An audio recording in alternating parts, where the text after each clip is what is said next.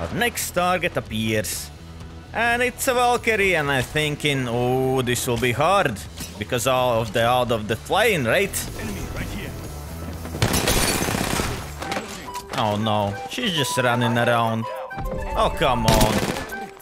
Yeah, I definitely didn't see where you went. Come on, Valkyrie. You can fly and you run around like a fool.